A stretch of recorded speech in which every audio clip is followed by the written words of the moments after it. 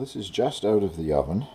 It is a no knead sourdough bread.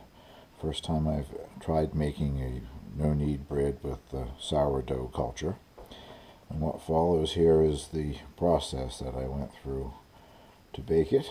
And of course the very last shot is cutting this and tasting it and see whether or not it is a decent sourdough loaf. I hope you enjoy the video. I'll show you how I made that loaf of uh, sourdough bread, which I think I'm fairly satisfied with. I've been making my own sourdough starter. This is the first time I've used it, but I've been making it now for it takes about a week or so, six days or so anyway. I won't bother to go through the whole process of making that. There are better illustrations online than I can give you. I'll put a link down below with the list of the ingredients and whatever that I've used in the recipe here, but also a link to the site that I used to make my sourdough starter. It's the King Arthur Flour site. Um, they obviously are also going to promote their products. They talk about using various King Arthur flours and whatever to make it with. Well, I didn't have King Arthur flour. Uh, they want you to start with either pumpernickel or whole wheat. Didn't have either one in the house, so I started with a multigrain, which is whole wheat actually with uh, you know other grains and seeds added. Seems to have worked okay. Anyway, I have here 200 grams of my sourdough starter.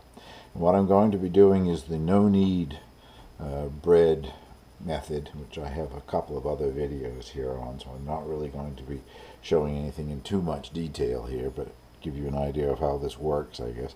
That is the sourdough starter there, 200 grams of it. This is 450 grams of just uh, white bread flour a teaspoon and a half of salt and a quarter teaspoon of uh, dry yeast.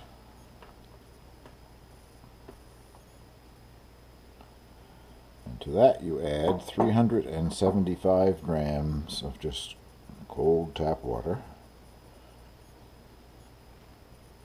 That basically is the ingredients. There's no kneading involved with no knead bread, obviously all you have to do is stir the ingredients together so that all of the flour has become wet. In this case with the added 200 grams of, of the uh, sourdough starter.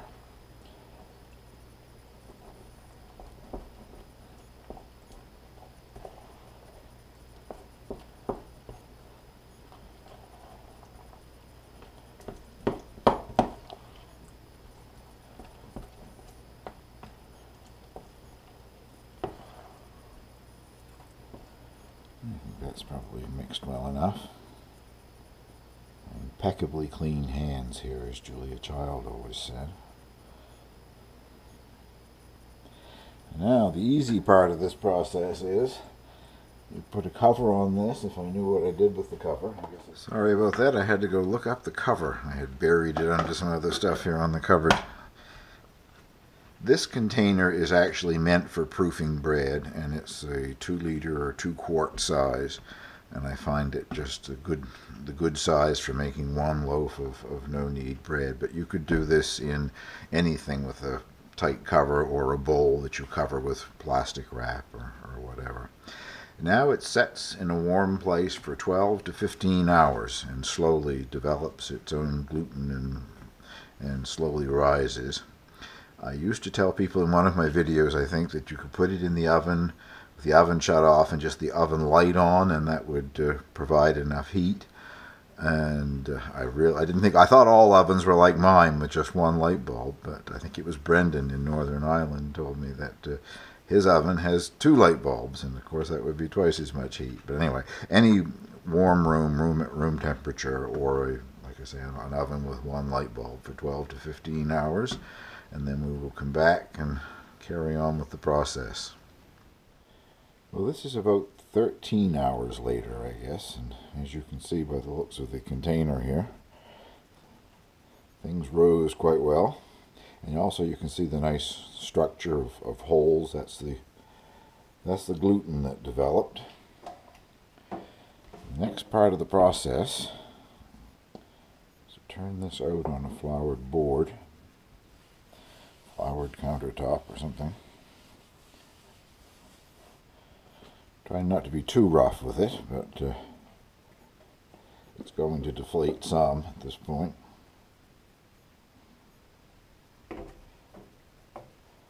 Just turn it over itself a couple of times here. Okay. A little bit of flour on top so the plastic wrap won't stick. And just cover it lightly with plastic wrap. And it rests like that for 15 minutes. It has rested its 15 minutes. Remove this plastic wrap. And sometimes one of these, a dough cutter, board scraper, whatever you want to call it, comes in handy at this point because it has adhered a bit. Not too badly, I guess. This dough, I think, is a little bit wetter than I usually have with the no knead bread, but that's all right too.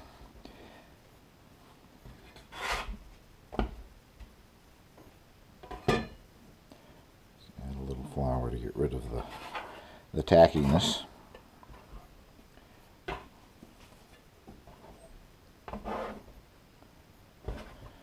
What I do next is I put it on um, a cookie sheet or I have a peel as well. well this is what I'm...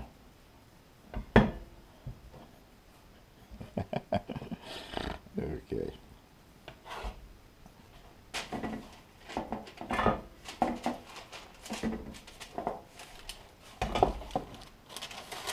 And I put it on uh, parchment paper. You'll see when I transfer it into the uh, Dutch oven why I prefer to use the parchment paper. Covering the top of it with flour because it's now going to have a tea towel put over it.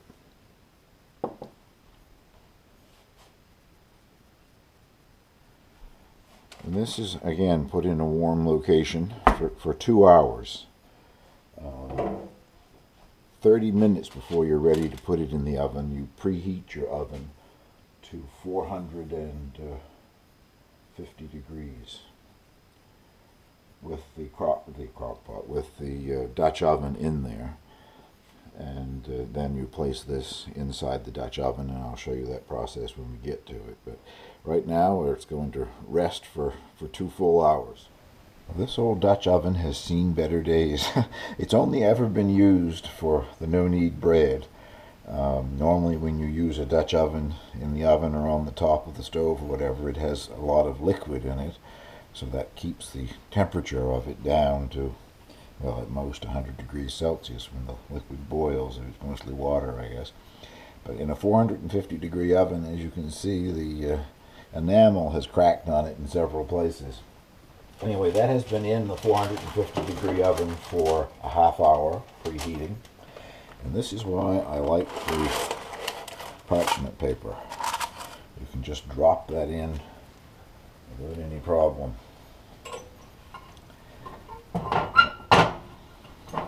Cover back on. And it goes back in the 450 degree oven for 30 minutes. At the end of 30 minutes, you remove the cover and leave it in the oven an additional 15 minutes to brown the surface. So I will bring you back when this is out of the oven. Another thing that I like about the parchment paper, it makes it very easy to get it out of the Dutch oven without burning your hands. And it doesn't really stick to it.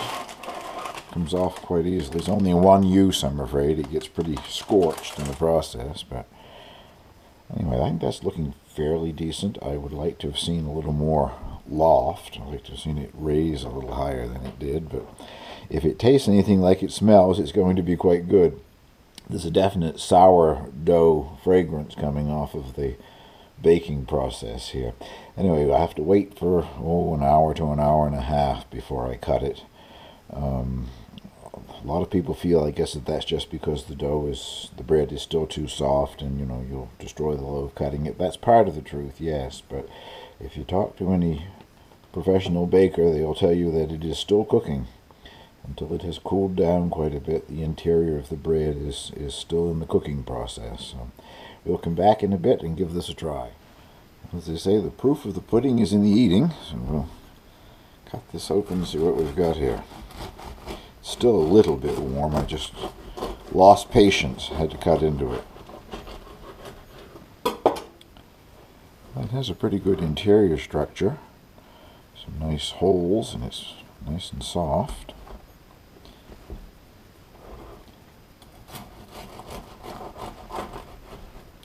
My favorite part is the crust, so that's what I'll take.